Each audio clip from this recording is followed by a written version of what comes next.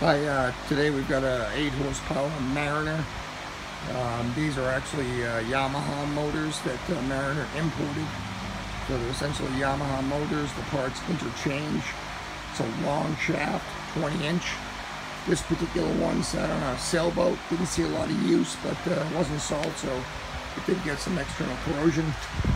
Compression is excellent at, uh, I think it was 130 on each cylinder starts easy, idles well, shifts easily, pumps water well. Carb was uh, rebuilt, ultrasonically cleaned, and it's basically been gone through. So let me just start it up for you, and we'll take go right through the motions here.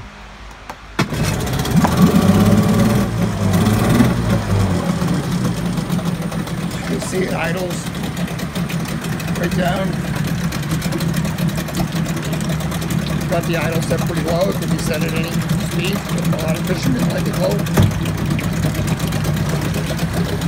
Gear.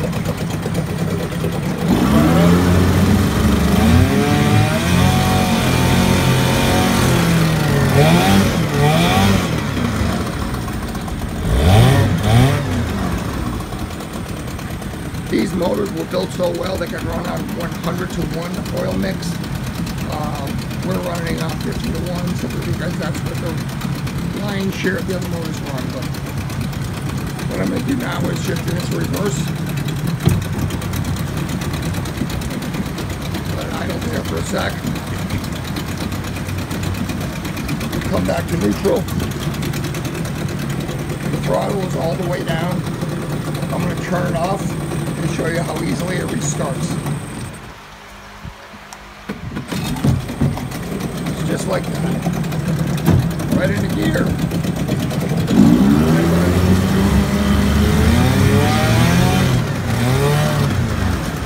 As you can see the water pump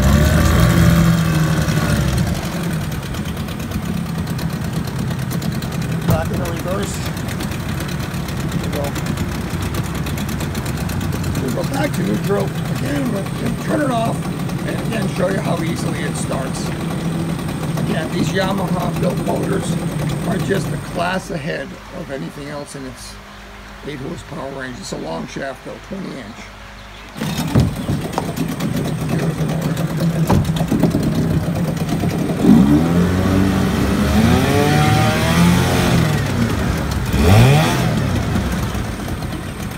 See it revs up. Again, I want to be clear.